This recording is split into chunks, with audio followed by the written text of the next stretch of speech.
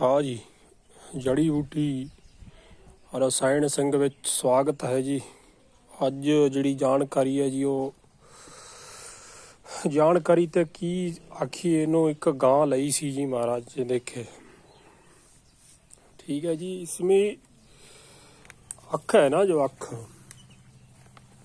इसमें जाला सा पड़ गया है जी देख सकते हो जी आप खोलती नहीं है इसमें पानी सा आता रहता जी हर समय।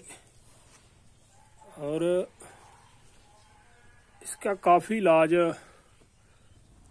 कराया, पर ये सड़ा ठीक नहीं हुआ काम। और इसकी आँख में जाला पड़ गया है जी। देखें ये पूरी खोलती नहीं है ये। वो है जी।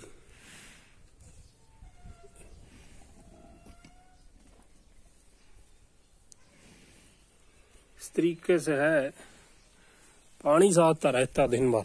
इसके लिए ये औषधि तैयार कर रहे हैं जी।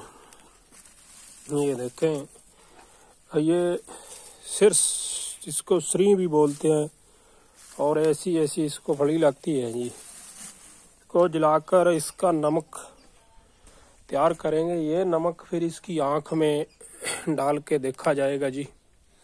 तो सारी दवाइयों तो फेल हो चुकी हैं, काफ़ी डॉक्टरों को दिखाया, उनसे काम ठीक नहीं हुआ, इसीलिए फिर ये औषधि बना रहे हैं। काफ़ी जगह इस पे सर्च करने के बाद ये बात सामने आई कि जो सिरस है, ये आँखों के लिए ज़बरदस्त औषधि है। इसका मैंने दो चार दिन पानी निकाल के डाल के देखा तो कुछ इसमें फ़र्क महसूस हुआ। अब जो नमक होता है, ये पशुओं के लिए सबसे बड़ा वरदान माना गया जी अकाल पुरख की तरफ़ से।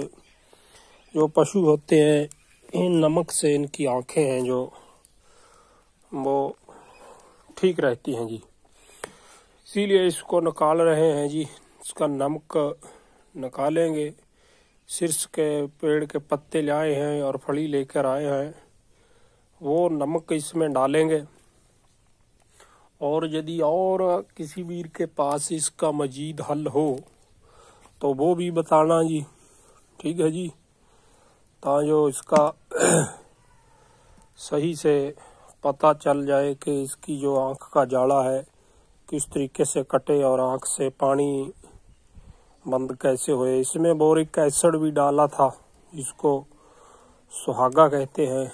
वो मिलता है, जहाँ पशुओं की दवाई मिलती है, वहाँ मिलता है। दस रुपये की डिब्बी देते हैं जी। वो भी डाली थी, उससे भी कोई फ़र्क नहीं पड़ा जी इसमें। ठीक है जी, हम ये गाय है ना, जो ये लेकर आए थे, ये अब ये सूने वाली है जी। ठीक है जी, ये दोगला सा मेल है। इसको भी पकड़ लिया था लंपी की बीमारी में, वो तो ठीक हो गया था जी। वो तो ठीक कर लिया था जल्दी, जड़ी बूटी खिला के इसको। तो ठीक है, सेहत भी इसकी ठीक है। बस यही है, इसके आँख की प्रॉब्लम है। जो दूसरे तरफ़ इसकी आँख है ना, उसमें से पानी गिरता रहता है जी दिन भर। ये मसला मसाइल बना हुआ है इसका। देखते हैं, ये नमक पा के देखते हैं, क्या इसका हल होगा जी। ठीक है जी, सत श्री अकाल महाराज।